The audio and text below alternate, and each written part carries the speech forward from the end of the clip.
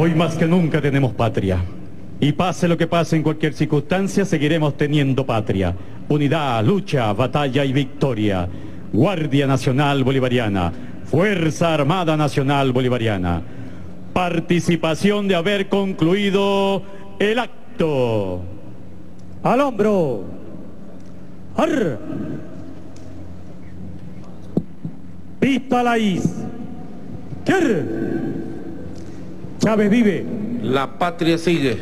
Independencia y patria socialista. Viviremos y venceremos. El sol de Venezuela nace en el Esequibo. Nace en el Esequibo.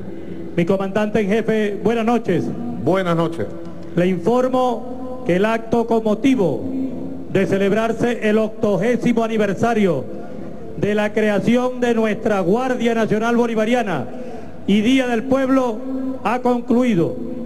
Solicito su autorización para retirar la agrupación de parada una vez rendidos los honores correspondientes. Muy bien.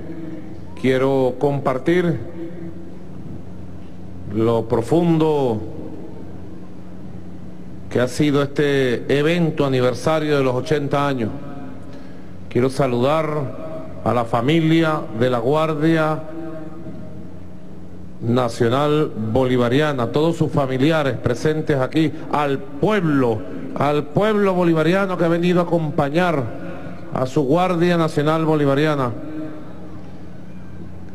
y decirles que conversé con cada uno de estos muchachos de 21, 22, 25 años. Tienen la vida por delante. Uno de ellos, a quien ascendí al grado inmediato superior, condecoré igualmente, uno de ellos le dieron un tiro aquí, en el mero centro de la frente. Y el tiro cogió un camino milagroso y se le alojó en la parte de atrás del cuello. Está en fase avanzada de recuperación.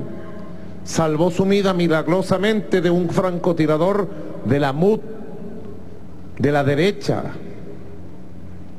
Soldados de la patria, hombres y mujeres que me escuchan, no estamos frente a protestas opositoras, pacíficas.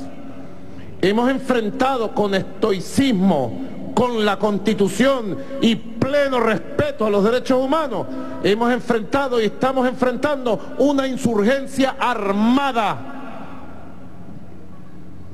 Y la Fuerza Armada Nacional Bolivariana, general en jefe, almirante en jefe, ministro comandante, estratégico operacional, comandante de los cuatro componentes de la Milicia Nacional, la Fuerza Armada Nacional Bolivariana tiene que prepararse en métodos de combate no tradicional, respetando la Constitución, para enfrentar a estos grupos armados, buscarlos, capturarlos y que haya justicia. Justicia, así como se cura la herida de la bala aquí, con tratamiento médico, con paciencia. Hay que curar la herida social que hay por la impunidad, por la injusticia. General, que va mucho más allá de simple impunidad y simple injusticia. La complicidad del Ministerio Público con la insurgencia armada, la protección que la Fiscalía le ha dado a los violentos durante tres meses o más. Hablemos claro frente al país. Si aquí hubiera habido una fiscalía que actuara apegado a la justicia y con valentía, hace mucho tiempo que todos esos guarimberos y criminales estuvieran capturados, castigados y encarcelados. Y hubiera habido paz hace tiempo. Llegó la constituyente